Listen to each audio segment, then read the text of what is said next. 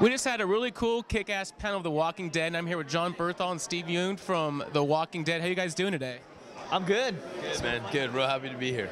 Now, uh, you guys kind of have two different contrasting characters. Steve, I think you're kind of like the heart of the show, maybe. They, they called you the Hurley of the show. Kind of like the, the the the man, like the badass, like the really gritty guy, right? And then he's like the he's like the huge poofta.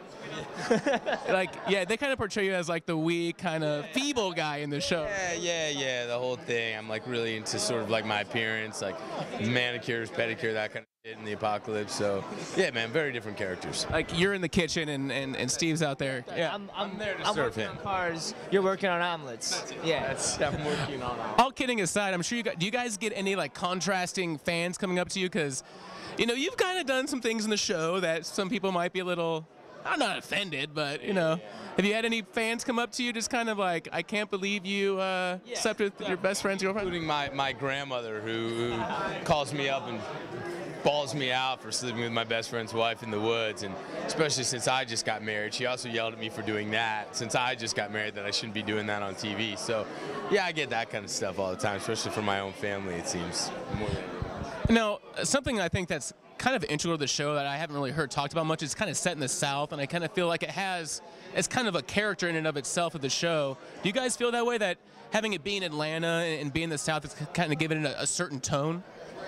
Yeah, I mean, uh, there's that whole vibe of Atlanta. You know, the the whole southern, like, kind of rich with culture and uh, super hot but beautiful.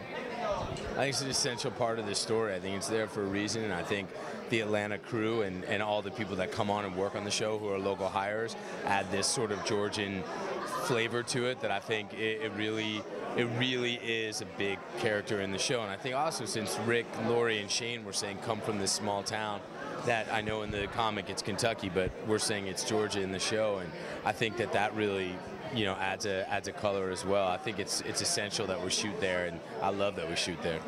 Now, I know you guys can't give us much, but what can you guys say about season season two here?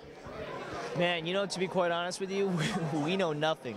Like, if we could give it to you, I maybe I would, or I might like allude to something, but we got nothing, man. All I can do is hope. Now, you, you guys read the, the comic, so you at least know what happens in the comic. So and, and you, you might be a little scared for your lives, right? Definitely, man. I mean, look, I, I shouldn't have even been here this long, and and uh, I love this job. I love working on. it. I love the people I work with, and uh, I want to stay a part of it as long as possible. But I also want to further the story and and and and uh, be a part of making the show as good as it possibly can be. So who knows what's going to happen with Shane? I don't know.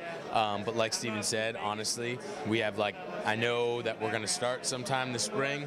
Besides that, that's we know nothing more.